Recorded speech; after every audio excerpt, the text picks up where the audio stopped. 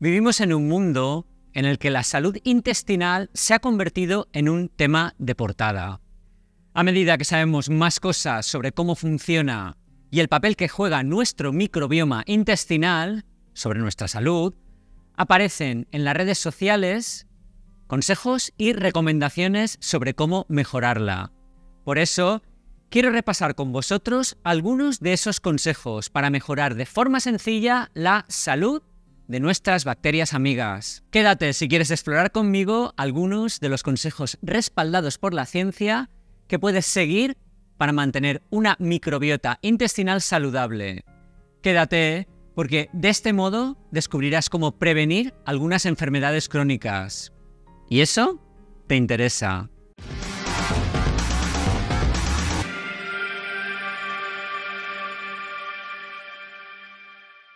¿Qué podemos hacer para mejorar nuestro microbioma intestinal y fortalecer así nuestro revestimiento intestinal? Pues esta pregunta es la clave en un mundo donde las enfermedades crónicas, surgidas tras la industrialización, aparecen con más frecuencia. Necesitamos reducir la inflamación de nuestro cuerpo y protegernos de esas enfermedades contemporáneas. Pero ¿cómo llegamos a este punto? ¿Qué ha cambiado desde la industrialización hasta ahora? ¿Qué ha desencadenado estos nuevos tipos de enfermedades? La respuesta es compleja, pero una parte importante recae sobre nuestro estilo de vida. El papel del ayuno. El ayuno intermitente es una práctica que ha ganado popularidad en los últimos años. Y no es sorprendente que también tenga un impacto en nuestra salud intestinal. Por cierto, esto que parece ahora muy moderno y novedoso ya lo hacían mis abuelos y bisabuelos, solo que ellos lo hacían por motivos religiosos y sin saberlo, pues beneficiaban a su microbioma y su salud en general. Cuando ayunamos, las bacterias malas se encuentran sin alimento y dado que su ciclo de vida es bastante corto, comienzan a morir. Esto resulta en una disminución de su población. Pero por otra parte, las bacterias buenas no solo se mantienen, sino que prosperan. ¿Por qué? Pues porque nuestro cuerpo, en su sabiduría, produce algunas sustancias químicas específicas para alimentar y preservar esas bacterias beneficiosas. Pero es que además, cuando ayunas, no solo dejas de comer, sino que también desencadenas un aumento en los niveles de ácido butírico y cetonas. Este cambio tiene un efecto profundo en tu cerebro, mejorando la neuroplasticidad y aumentando los factores neurotróficos. Por otra parte, si tu índice de masa corporal es superior a 40, reduces potencialmente tu esperanza de vida en 7 años. Si superas el 50, el impacto puede ser de hasta 14 años. Esto nos indica que la obesidad no es solo una cuestión de estética, sino un indicador de lo que puede estar sucediendo en el interior de tu cuerpo. La obesidad es un tema serio, con el que no se debe bromear. Para una vida larga y saludable es necesario reducir el índice de masa corporal a valores normales.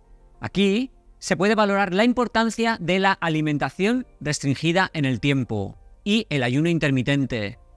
Siempre, siempre de la mano de un buen nutricionista. Tened en cuenta que nuestro microbioma sigue un patrón circadiano y comer cada pocas horas puede alterarlo negativamente.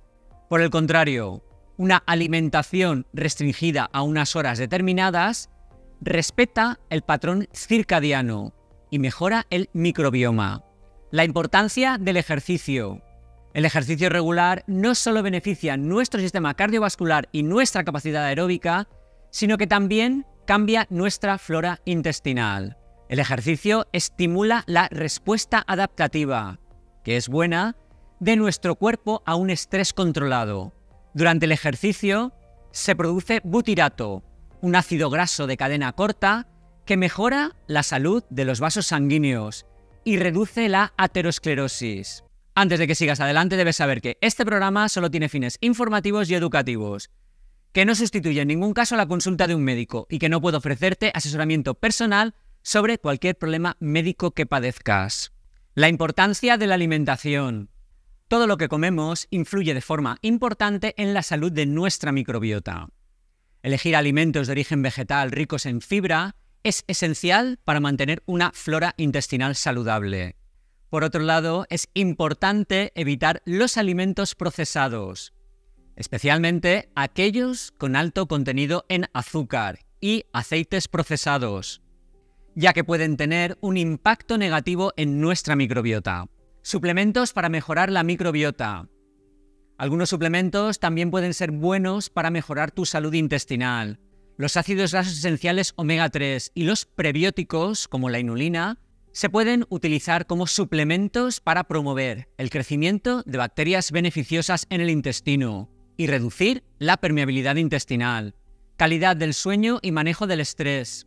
Un sueño de calidad es esencial para nuestra salud en general, ya que el estrés y la falta de sueño pueden aumentar la permeabilidad intestinal y la inflamación. Por eso, practicar técnicas de manejo del estrés como la meditación, el yoga o técnicas de respiración, puede ser beneficioso para mantener el equilibrio en nuestra microbiota. Biofilia, conexión con la naturaleza.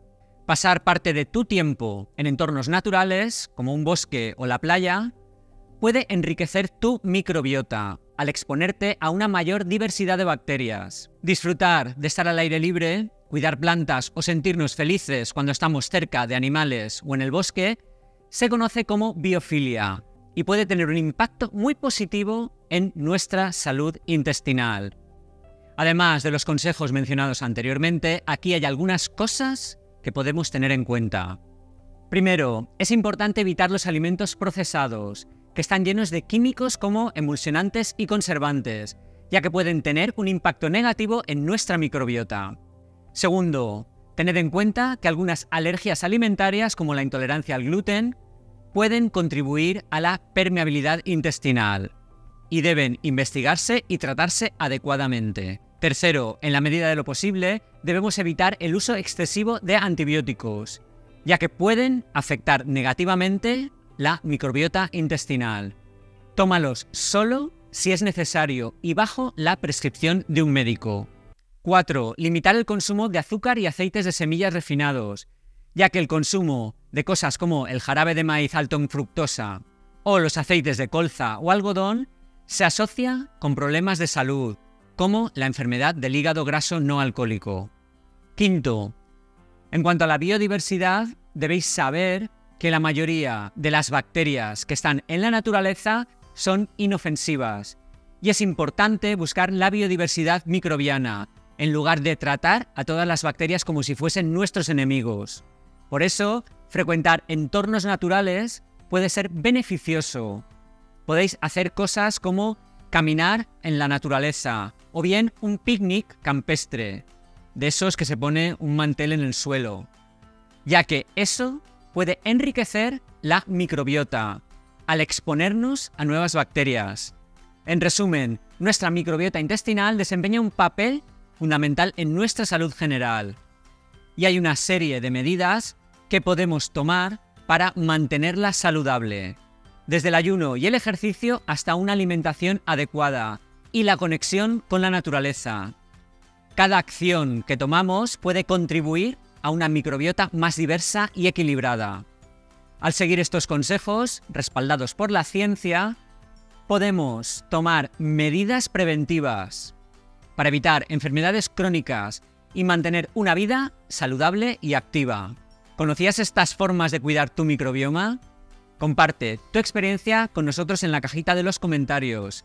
Y si lo haces con la frase Cuidemos el microbioma, eso lo hará muy especial para mí, pues sabré que me apoyas y que te quedaste hasta el final. Regálale un like al programa que es gratis y comenta. Y compártelo, ¿por qué no? Por WhatsApp o tu red social favorita. Lo más importante de todo es comentar ya que si comentas es más probable que el algoritmo se motive y se lo muestre a más gente. Y no te olvides, haz que cada día sea maravilloso e inolvidable para ti y para los que te rodean. Y aquí puedes suscribirte al canal. Y aquí puedes ver un vídeo sobre cómo cuidar tus riñones evitando algunos malos hábitos.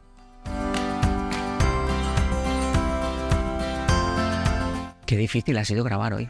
Madre mía.